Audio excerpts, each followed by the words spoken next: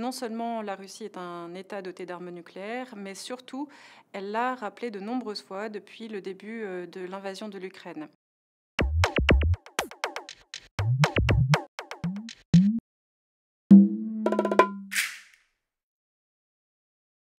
Alors, la dimension nucléaire du conflit ukrainien s'articule autour de deux axes. Le premier axe est celui de la sécurité des installations nucléaires civiles qui se trouvent en zone de conflit, un enjeu qui est suivi par l'Agence internationale de l'énergie atomique qui se trouve à Vienne.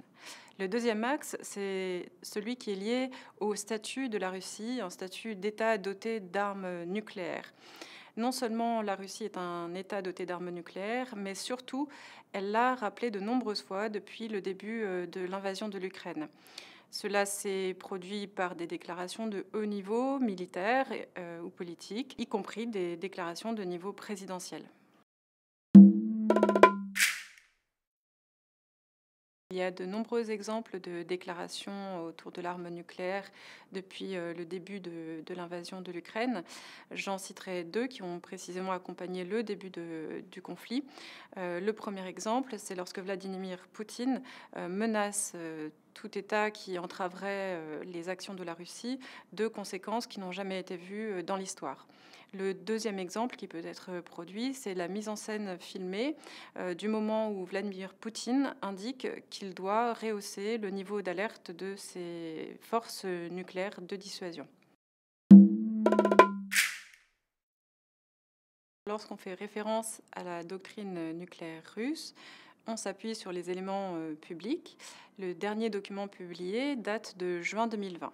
Dans ce document, les cas d'emploi de l'arme nucléaire, euh, globalement, euh, s'articulent autour de deux axes. le premier cas, c'est celui d'un emploi d'armes nucléaires ou d'armes de destruction massive contre la Russie et ou contre ses alliés. Le deuxième cas, c'est le cas d'une agression au moyen d'armes conventionnelles contre la Russie, une agression qui menacerait l'existence même de l'État. Cette expression d'existence même de l'État est importante. Elle suggère un seuil euh, stratégique et politique euh, d'emploi de l'arme nucléaire. En regardant à la fois la doctrine telle qu'elle est publiée et euh, la manière dont euh, la Russie utilise l'argument nucléaire autour de l'invasion de l'Ukraine, on peut avoir l'impression euh, d'un décalage. Ce décalage est lié au fait que toute cette rhétorique nucléaire, qui s'inscrit dans un cadre de signalement nucléaire avec donc non seulement la rhétorique mais aussi des signaux opérationnels, eh bien, ce signalement s'inscrit dans une stratégie d'intimidation.